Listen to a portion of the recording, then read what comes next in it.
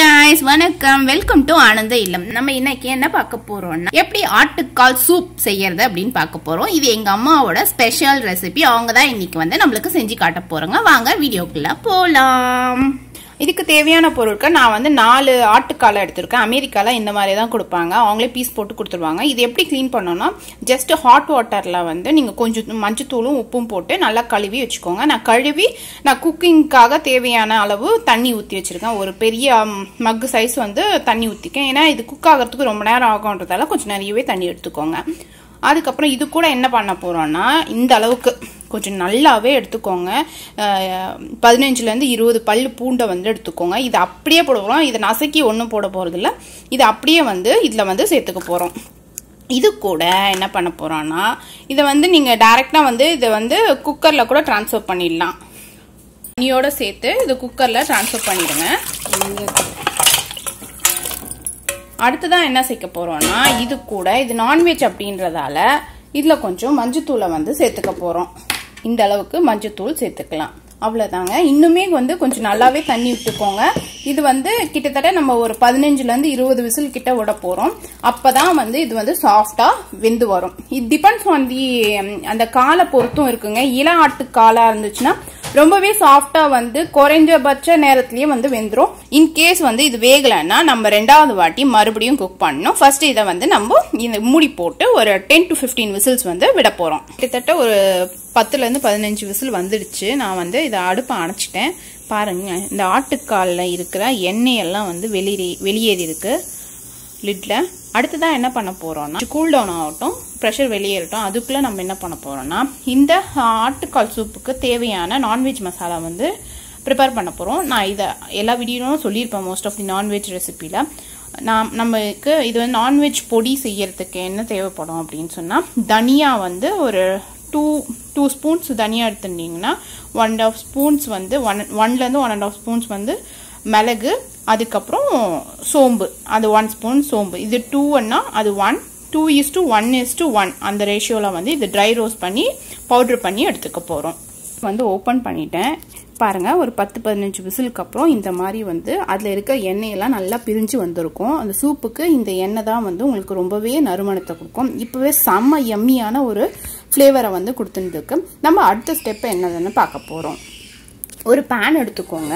இதில் வந்து நம்மளுக்கு இப்போ வந்து தாளித்து அதில் கொட்ட போகிறோம் அதனால் ஒரு பேன் எடுத்துட்டு இருக்கோம் இதில் வந்து தேவையான அளவு எண்ணெயை வந்து சேர்த்துக்கோங்க. எண்ணெய் வந்து நல்லா சூடாயிடுச்சு. இப்போ என்ன பண்ண போகிறோன்னா எடுத்து வச்சுருக்க பட்டை கொஞ்சம் லவங்கம் அப்புறம் வெங்காய வடகம். இதை வந்து நம்ம சேர்த்துக்க போகிறோம் இது கொஞ்சம் லைட்டாக பொரியட்டும். பொரிஞ்ச உடனே இதில் வந்து நம்ம அடுத்ததாக வந்து கருவேப்பிலையும் வெங்காயத்தையும் போட்டு வதக்கிக்க போகிறோம் இப்போ கொஞ்சம் பொரிய ஆரம்பிச்சிச்சு. இப்போ வந்து நம்ம வெங்காயத்தை சேர்த்துக்கலாம்.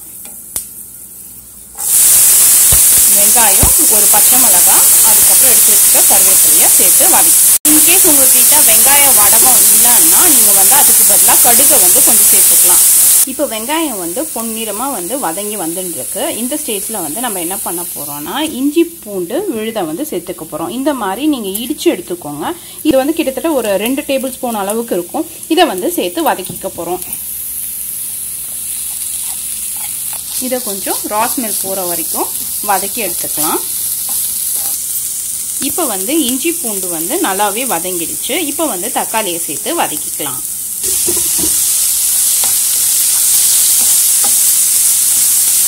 இப்போ வெங்காயம் தக்காளி வந்து நல்லாவே வதங்கிடுச்சு. இப்போ நம்ம என்ன பண்ண போகிறோம்னா இந்த வதங்கின வெங்காய தக்காளி இஞ்சி பூண்டு விழுதை வந்து நம்ம வேக வச்சு வச்சுருக்கேன் இந்த கால் கறி கூட வந்து ஊற்றிக்க போகிறோம் இதை வந்து அடுப்பு ஆன் பண்ணிக்கலாம். இப்போ இதை வந்து ட்ரான்ஸ்ஃபர் பண்ண போகிறோம் இப்போ என்ன பண்ண போகிறேன்னா இதே அடுப்பில் வந்து நான் வந்து குக்கரை எடுத்து வச்சுக்க போகிறேன்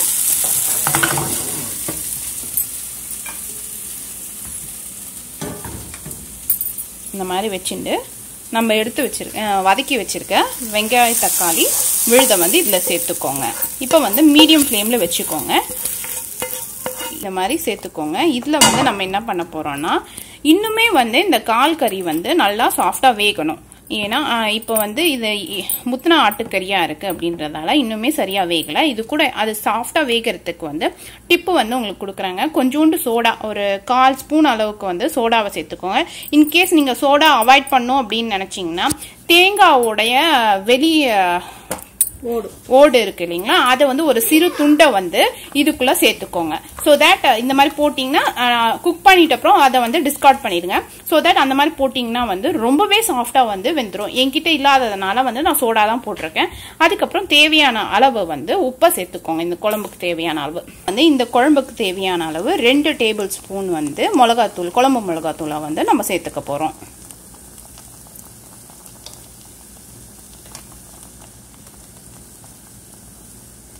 அவ்வளோதாங்க இதை ஒரு வாட்டி நல்லா கலந்து விட்டுட்டு இதை வந்து நம்ம மறுபடியும் வந்து குக்கரை மூடி போட்டு ஒரு ஃபைவ் விசில்ஸ்க்கு விட போகிறோம் இதுதான் செகண்ட் ஸ்டெப் அடுத்தது இது வெந்து ஃபைவ் விசில்ஸ்க்கு அப்புறம் என்ன பண்ணணும் அப்படின்றத பார்க்கலாம்.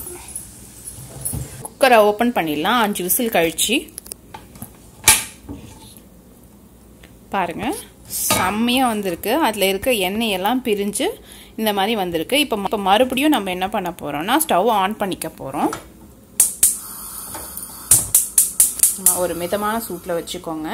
இப்போ என்ன பண்ண போகிறோம்னா இது ஒரு வாட்டி கிண்டி விட்டுட்டு பாருங்கள் இப்போ ரொம்பவே நல்லா சாஃப்டாக வெந்திருக்கு. நம்ம சோடா போட்டதால். அவ்வளோதான் இதில் வந்து நம்ம நான்வெஜ் மசாலா பவுடரை வந்து சேர்த்துக்க போகிறோம் ஒரு ரெண்டு டேபிள் ஸ்பூன் அளவுக்கு இந்த நான்வெஜ் மசாலா பவுடரை வந்து சேர்த்துக்க போகிறோம் இது நான் உங்களுக்கு ஆல்ரெடி இப்போ காட்டினேன் இல்லைங்களா? தனியா சோம்பு அதுக்கப்புறம் மிளகு. இதை வந்து ட்ரை ரோஸ்ட் பண்ணி பொடி பண்ணி பவுட்ரு பண்ணி வச்சுருக்கிறது தான் வந்து இப்போ நம்ம சேர்த்துட்டுருக்கோம் இதை வந்து போட்டுட்டு நீங்கள் வந்து ஜஸ்ட் ஒரு டூ மினிட்ஸ் வந்து இது குக் ஆனால் போதும். நம்ம அந்த மசாலா நான்வெஜ் மசாலா பொடி போட்டு ஒரு டூ மினிட்ஸ் ஆயிடுச்சுங்க. இப்போ பாருங்கள் எண்ணெய் வந்து சூப்பராக வந்து பிரிஞ்சு வந்துருக்கு இந்த ஸ்டேஜில் நம்ம என்ன பண்ண போகிறோம்னா கொத்தமல்லியை போட்டு நம்ம இறக்கிக்கலாம்.